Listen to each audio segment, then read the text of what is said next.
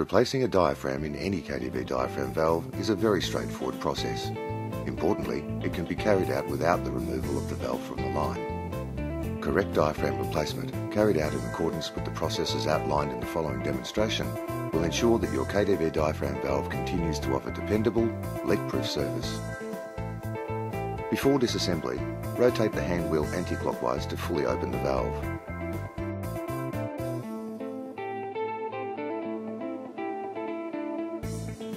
Loosen the bonnet nuts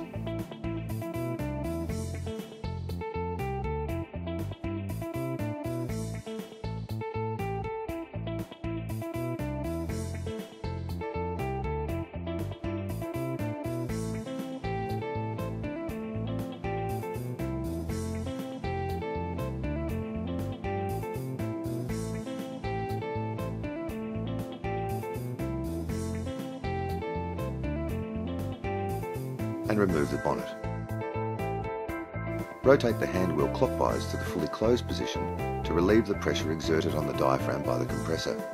Remove the diaphragm by unscrewing it anti-clockwise.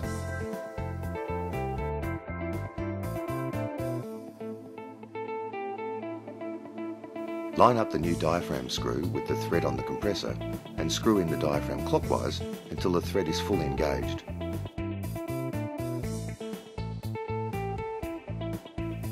Now rotate the diaphragm anti-clockwise to align the holes in the diaphragm with the bonnet bolt holes. Rotate the hand wheel fully anti-clockwise. The diaphragm should sit flush with the bonnet. Make sure that the holes in the diaphragm line up with the bonnet bolt holes. Position the bonnet over the body, ensuring that the bonnet and body bolt holes are aligned properly. Insert the bolts and finger tighten the nuts.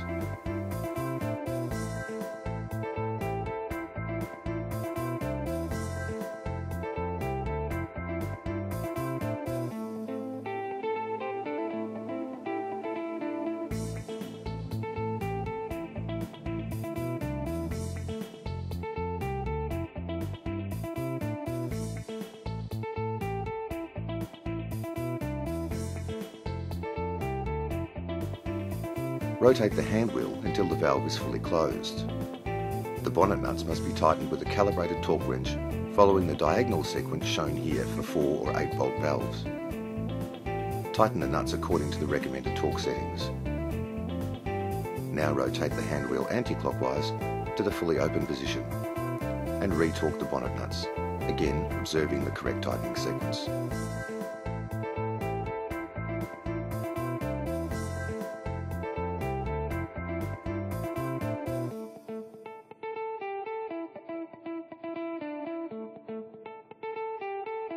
Your KDV diaphragm valve is now ready for service.